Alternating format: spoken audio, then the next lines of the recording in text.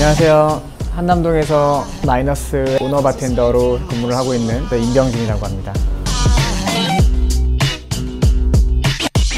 네, 오늘의 칵테일은 다이키리를 준비했는데요. 1800년대 말에 다이키리라는 광산의 이름을 따서 만들어진 칵테일이에요. 그때 그 광산에 오는 사람들을 대접하기 위해 만들었다고도 전해지는 칵테일이죠.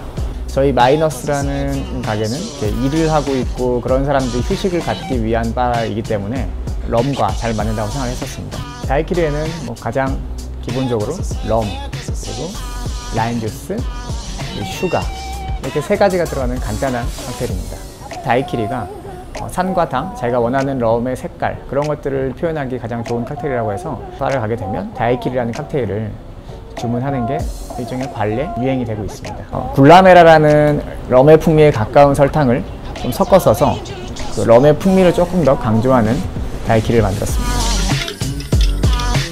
바텐더란 어, 멀티플레이어, 어, 셰프들의 장인 정신 그리고 맛에 대한 연구력, 호텔리어 분들에게 굉장히 서비스로 감동을 받을 때가 많이 있고 바텐더들은 그 두 가지 요소가 다 필요하다고 생각합니다. 그러니까 처음 오시는 분들한테는 어떻게 하면 더 편하게 바 문화를 받아들이고 즐길 수 있을까에 대해서 연구도 많이 하고 어, 보통 바 메뉴는 뭐 멋있게 전문 용어 써가면서 영어를 쓰고 하잖아요.